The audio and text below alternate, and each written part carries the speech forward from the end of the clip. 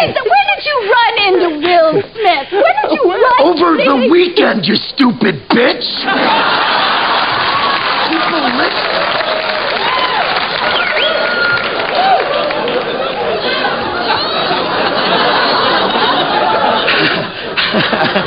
Just kidding. Oh,